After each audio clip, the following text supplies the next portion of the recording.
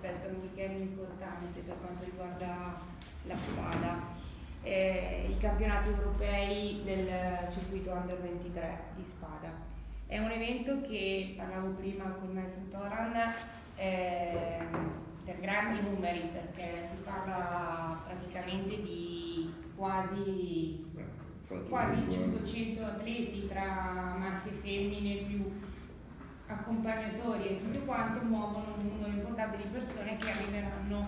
comunque a gusto e quindi noi ci apprestiamo a dargli il benvenuto eh, sicuramente sarà una manifestazione ben organizzata come tutte quelle che vengono organizzate eh, da voi che ormai, come dicevo prima, siete diventati un'eccellenza. Ehm, la cosa bella è che eh, oltre a seguire le gare che saranno importanti perché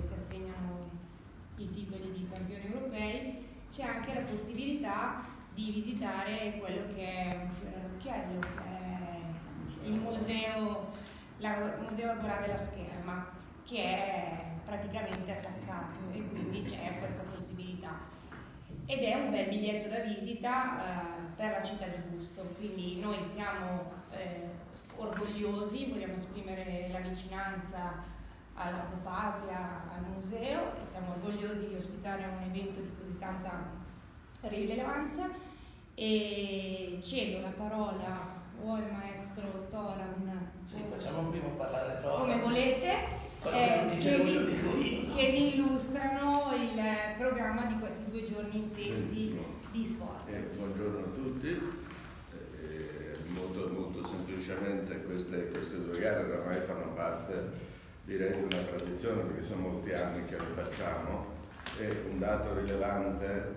è che il numero dei partecipanti è sempre in crescita, il che è anche segno del gradimento eh, che c'è per, per, l'accoglienza e per l'organizzazione che trovano a gusto, tanto è vero che eh, non ce la facevamo più a fare insieme come abbiamo fatto in passato le gare dei master o le gare dei disabili insieme a queste e abbiamo dovuto concentrarci solo su questo. I numeri che avevo dato in una prima eh, comunicazione sono cresciuti perché le iscrizioni erano ancora in corso e ad oggi, quindi io poco fa li ho stampati insieme alle nazionalità, mi ritrovo con 234 atleti maschi provenienti da 22 nazioni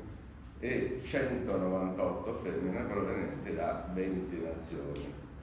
E sono un numero notevole ma non basta perché come è stato detto un attimo fa c'è un indotto notevole perché queste persone vengono con le rappresentative nazionali, con gli accompagnatori tecnici e non tecnici e quindi eh, c'è un giro di persone notevole che eh, naturalmente dorme, mangia, visita, ha possibilità diciamo di... Diciamo che vive Arsizio. Ecco, conosce, conosce questa c'è gente che ci chiama, ci telefona per sapere cosa è possibile fare, cosa è possibile vedere.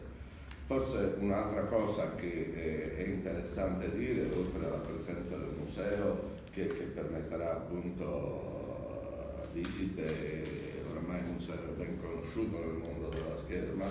è, è il fatto che la, la società eh,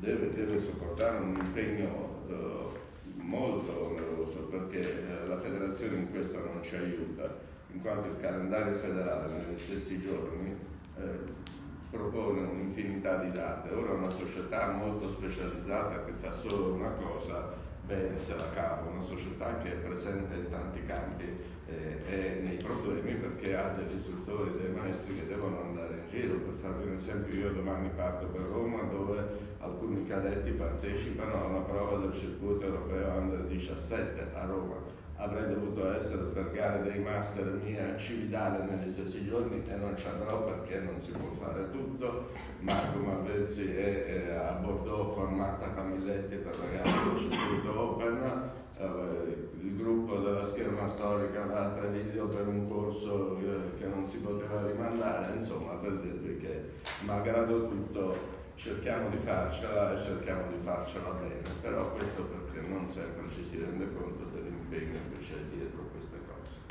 Bene, penso che di avervi detto abbastanza.